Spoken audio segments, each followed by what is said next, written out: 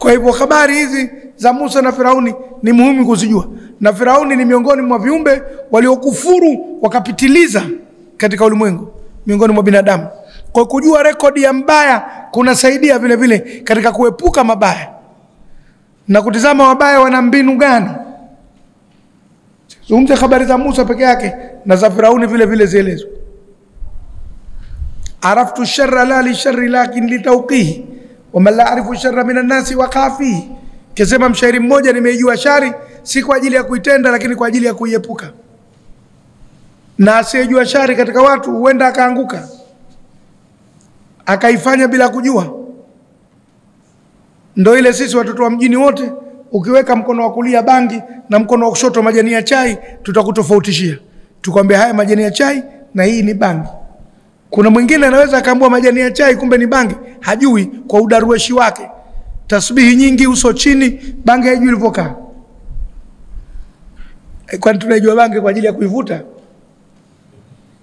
Sio kwa ajili ya kuivuta, kwa ajili ya kuiepuka. Na hili nalo gumu kweli. Ndio maana unakutana na baadhi ya mashehe hawajui kabisa mambo ya ubaya, wanajua wema tu, wazuri hao lakini kuna sehemu kuwafikisha, wanakutana na watu wakorofi, hawawezi kufanya kazi. Na kuna misheka mingine imepita kwenye makundi yote ya kihuni, unapomwingiza kazi kazi tu, mnakwenda mnapambana mpaka mnafika. Mnapotafuta kiongozi wa kidini, msitafute darweshi sana watasubihi, hawezi. Lazima mtafute na mtu ambaye anaweza kupambana, anaujua ukorofi na ndio maana mkaona katika makhalifa wale wanne wa Mtume salam, Omar amepata umaarufu mkubwa kwa sababu Omar alitokea kwenye ukorofi. Alipokuja akakaa kwenye mstari, ikawa wakorofi wanamtambua. Hakuna jipya utakalomfanyia asilijue, mnakwenda tu. Kwa hivyo lazima ukorofi ujulikane, lakini bilhaqi. Tunakusimulia au tunakusomea habari za Musa na Firauna kwa haki, kwa ukweli mtupu, hatutii chumvi ndani yake.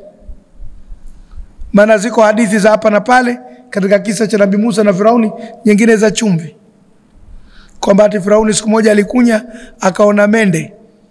Wametoka kwenye kinyesi, akatoka mbio akasema, mie Mungu kweli bwana, nishaumba mende huko. Ah, hicho kisa cha kijinga kabisa, si cha kweli. Kwamba kanya wametoka mende. Kwenye mavi ya mtu wanatoka mende. Au mafunza? Minyoo sawa. Na angesema hivyo, nimeona minyoo huku, wangaambia mzee, unaumwa, katafute dawa, sababu inajulikana minyoo ni maradhi. Sasa viko visa vya hapa na pale vya kutumbukizwa, si vya kweli. Qurani inataja yale ya ukweli tu, bil haqi. Liqaumin yuminuna, kwa watu wenye kuamini.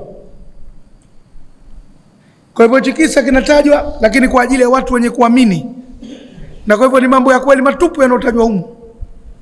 Ukitaka kwenye visa tu vya burudani, mbona vya Firauni na Musa viko vingi? Vingi kweli kweli, vya uongo vya kupandikizwa, vya burudani viko vingi sana, lakini hivyo si kwa ajili ya watu wanaoamini. Ni kwa ajili ya watu wanaotafuta burudani tu ya visa. Sisi tunazungumzia vya Qur'ani kwa ajili ya watu wenye ku nini kuamini, kwa liqaumin yu'minun. Huo ndo utangulizi. Aya tatu hizi za suratul Qasas zinatanguliza mwanzo wa sura hii.